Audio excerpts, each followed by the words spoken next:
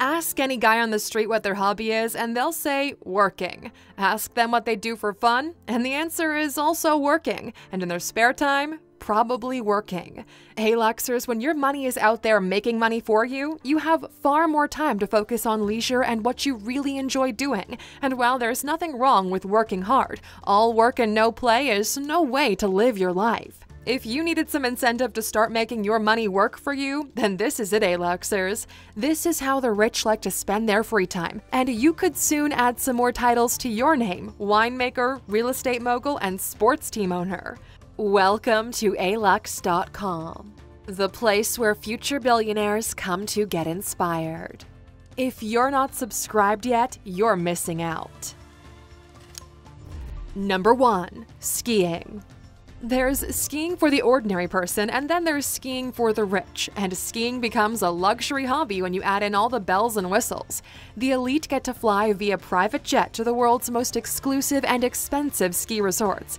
They head to resorts that offer their guests horse drawn carriage rides, personal wine cellars, cinema rooms, upmarket spas, golf, and gourmet meals with private chefs. It is possible to ski when you're not loaded, but you're certainly not going to get the five star experience the rich rich can afford, and you won't be cutting the mountainside with the likes of the Beckhams and George Clooney. Number 2. Yachting. The rich like to drop anchor in places like the Cayman Islands, Saint Tropez in the south of France, or in Capri, Italy, where the fees to dock at Marina del Capri are between $3,000 and $4,000 a night. Just the cost of the yacht can reach millions of dollars, and then there's all the amenities, fees, staff, supplies, toys, maintenance, and fuel to be added on. To give you a good idea of what it costs to own a yacht, watch our video, The Real Price of Owning a Yacht. The rich love to partake in an array of water activities, so hobbies would include boating, jet skiing, diving, paragliding, and wakeboarding, all a lot more lavish than the body surfing, snorkeling, and bodyboarding usually done by the masses come summertime. Number 3. Cigarette Boat Racing the super wealthy love a little thrill in competition. Loser buys the winner a new convertible kind of vibe. So, a logical hobby to partake in would be to combine an expensive go fast boat or a cigarette boat with the possibility of walking away a winner. Cigarette boats got their name because they were used by smugglers escaping authorities when smuggling contraband across borders. They're expensive toys. They cost between $500,000 and $1 million, and all supporting costs can amount to $25,000 a year. Number 4. Golf. Golf has long been ranked the favorite sport by billionaires. WealthX confirmed that billionaires that were worth more than $5 billion cited this as their favorite pastime. Many of the more prestigious golf clubs can cost $300,000 just to join, and an additional yearly fee of up to $29,000, as seen at the Liberty National Golf Club in New Jersey. It's a leisurely game played by like minded individuals, a place where business contacts are made, where ideas are tossed around, and where frustrations and stress can be taken out on a little white ball. The wealthy love it because it's safe. They can easily fit it into their busy schedules, plus the added advantage of the occasional amazing shot to give them bragging rights. And Luxers, in just a bit, we'll share the opulent, earthy, elegant, structured, and sturdy hobby that many wealthy people love to dabble in. Number 5. Sports Team Owner we all love to play sports of some kind, but when you're rich, the ante is upped somewhat. It's not enough to just play a sport when you're super wealthy, you need to be able to own an entire sports team. Jon Bon Jovi started his very own football league called the Philadelphia Soul in 2004. Venus and Serena Williams have stakes in the Miami Dolphins. Russell Crowe became the co owner of the South Sydney Rabbitohs, and Elton John owned the Watford Football Club in 1976 and again in 1997 until 2012. Number 6. Exotic Pets Exotic pets have become a commodity for the wealthy, a way to show off wealth and a hobby to pass the time. Lamborghinis and Louis Vuitton bags go hand in hand with exotic animals, and you'll often see cheetahs and tigers flittering across Tinder and Instagram. If a bear or lynx sounds a bit too tame, how about a Bactrian camel to add to your collection? So, what's the big appeal for the wealthy to own exotic animals? Ego, one upmanship, and complete narcissistic behavior because it's clear to see whose needs are coming first, right? Mike Tyson had tigers, Paris Hilton had a kinkajou, and Kirstie Alley had lemurs. We know that Justin Bieber had a capuchin monkey, who was confiscated in Germany. Bieber never produced the correct paperwork, and the monkey was given to a zoo in Hodenhagen. Number 7. Rare Collections Ultra high net worth individuals love to collect rare items, whether it's stamps, books, vintage cars, rare whiskeys, or coins, which, by the way, have risen in value by 232% in the last 10 years. To give you some examples of famous collections, Thurston Twigg Smith, owner and publisher of the Honolulu Advertiser, had a serious stamp collection. His stamps have been auctioned several times, with one lot bringing in $4 million in 2009. Victor Vekselberg has the biggest collection of Fabergé eggs in the world, valued at $200 million. LeBron James collects watches, Jay Leno collects vintage cars and exotic vehicles, and Steve Cohen loves art. And we'll look at the bigger picture later on. Number 8. Real Estate it's all fun and games when it comes to real estate for the wealthy. The quick snapping up of property, ripping through it, fixing it up and selling it again with a few hundred K in profit in less than no time. Team that up with owning properties all around the globe and you'll have a hobby that's bound to keep you busy. The great thing about this hobby is when you're super wealthy, you get to make all the fun decisions and let others do all the hard work and then reap the rewards when it sells for a tidy profit.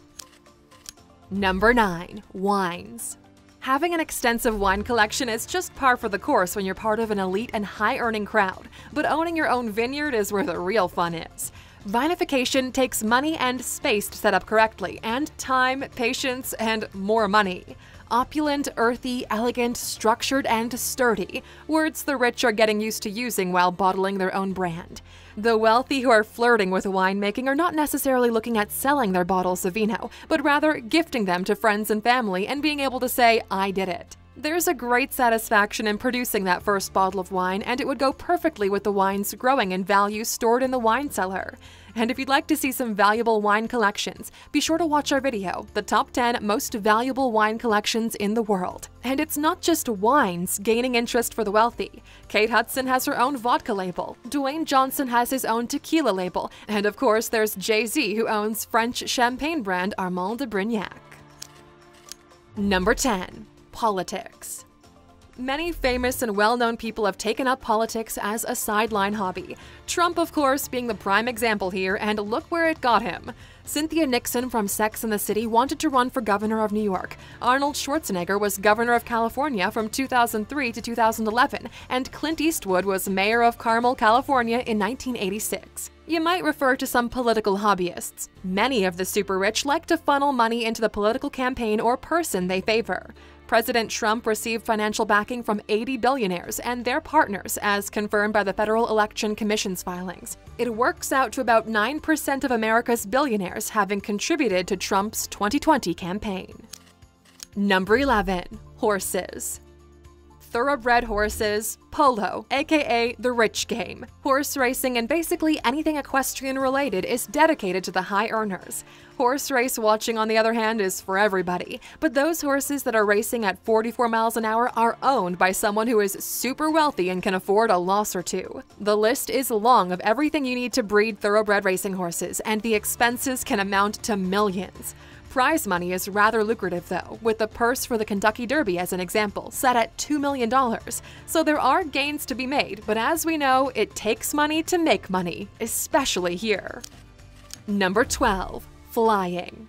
When it comes to beating boredom, the wealthy seem to love taking off. Whether it's just ambling along in a hot air balloon, getting a pilot license, chartering your own flight in your own plane to your own island is something that is a reality for many wealthy individuals, and you'd be surprised to know how many famous faces can add pilot to their resume, like Angelina Jolie, Tom Cruise, John Travolta, and Hilary Swank.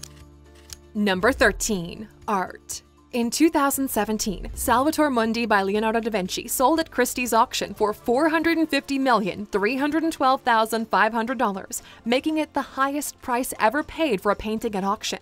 The successful bidder is said to be a Saudi prince. Collecting art is a hobby that the wealthy like to partake in. High end art is costly, and the value of each piece is always on the increase. Art is a sound investment, and the rich know this. Hedge fund manager Steve Cohen has an art collection valued at $3 billion, including works from Van Gogh to Damien Hirst. Many famous celebrities have extensive art collections too, including Leonardo DiCaprio and Sean Combs. Number 14. Travel.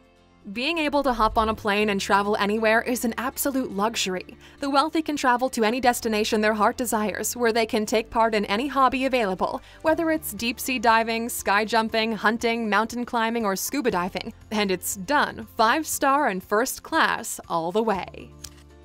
Number 15. Philanthropy. Strangely and fortunately, the most favored hobby by the rich is giving money away. WealthX did research on people that were worth $30 million or more, and the results were unanimous. The most favored hobby was philanthropy. More than one third of the wealthiest people in the world pursued charitable interests, with many having signed up their fortunes to the Giving Pledge, whereby the world's wealthiest pledged to give away half their wealth during their lifetime. Billionaire philanthropy is certainly a luxury hobby only for the rich, but don't let that stop you from doing good in your own way, because Aluxers, charity has never made anyone poorer. In fact, it does more good for the person giving than the person receiving. And now, Aluxers, here we are at the end of our video. What's the first hobby you would pursue if money was no object? Where would you most likely be involved in philanthropic work? Let us know in the comments. And of course, since you stuck with us until the end and are a true Aluxer, here's your bonus. You might be thinking that half of these hobbies sound like rather hard work, so let's have a look at some rather peculiar hobbies that the rich also like to dabble in. Steve Wozniak enjoys Segway Polo. Tom Hanks collects typewriters. David Arquette loves knitting. Taylor Swift makes snow globes. Warren Buffett can play a mean tune on his ukulele. And former Twitter CEO Dick Costolo makes his own honey. How sweet. Thank you for spending some time with us, Aluxers. Make sure to like and subscribe so you never miss another video. We also handpicked these videos, which we recommend you watch next. You can talk to us on all social medias or ask a question on our website, alux.com. Thank you for being an Aluxer, and we'll see you back tomorrow.